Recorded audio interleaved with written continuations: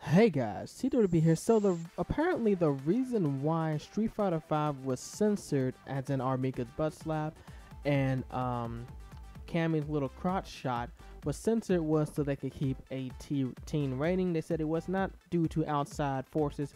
But let's go ahead and say this. Koei Tecmo said the same thing about Dead or Alive Extreme 3. So I don't really see this as being their own doing. I see this as being an outside forces influence also. They're saying that they want to keep the teen rating, but I don't think that showing a butt slap and a undershot is going to make your game 18. I don't I don't see that being the case. Um yeah, that that doesn't that doesn't add up. It wouldn't unless it was bare and you could see Eh, but then again, you know, everybody's pretty much wearing a thong in the Street Fighter 5 universe or the Street Fighter universe in general.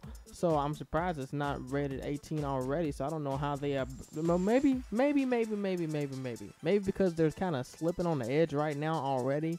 They're just trying to prevent the ESRB from like, oh well, now you got butt slaps in there, so let's go ahead and put that little um 18 plus rating on your game, you know, to make it harder for your fans to get the game.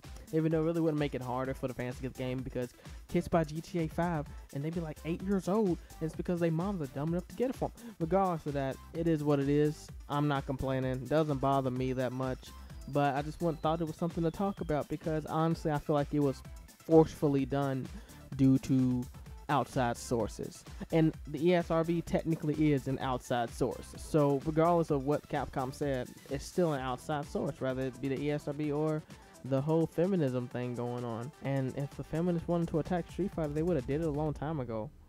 So why are y'all worried? But regardless, don't forget to like, comment, and subscribe. Also, before I go today, guys, I want to let you guys know to stay tuned for my channel.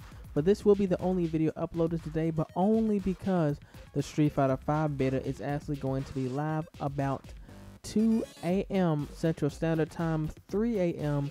Eastern Standard Time, and 12 a.m. Pacific Standard Time. And I will be uploading gameplay of that onto my channel, so stay tuned for that.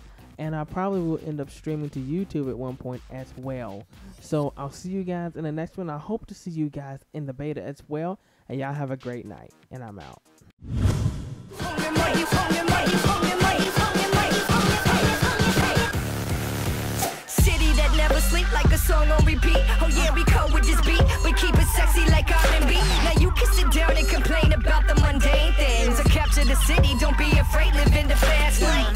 In the street, come on, you feeling like a star, man.